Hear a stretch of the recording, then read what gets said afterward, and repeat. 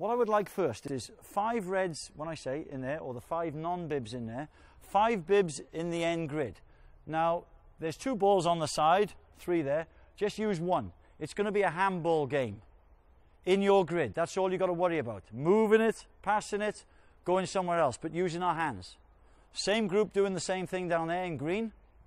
And then on the whistle, you're going to put the ball down on the floor in both grids and you're going to break through into this, what I call a jungle area here. And you'll see different agility stations.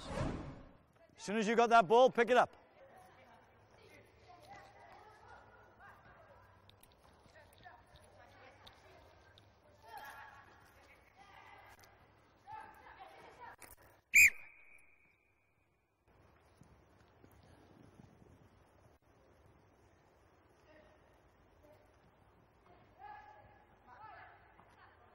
One nil to non-bibs. Okay, Anne, hold it there.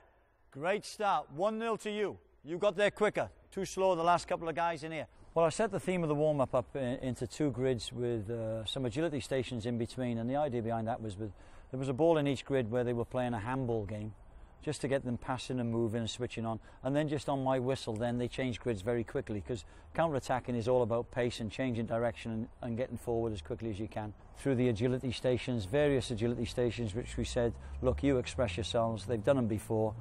To see what they come up with really and to get through and, and, and uh, as quickly as they can. Okay, this time the ball's on the floor. We pass move. Now, whether it's one touch, two touch, I don't know. Whether we're having those little drag turns and playing, whether we're popping it off around the corner and moving, I don't know. But I want us on the move. This, again, is not movement for me in this session. If I play it and I just do that, I'm not going to lose anyone. Play it, go somewhere else. Somebody replaces me. Off you go.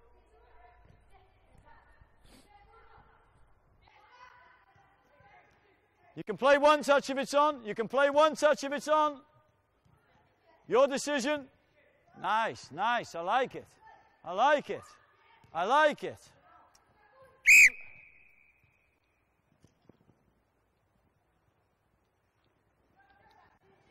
Three two to greens.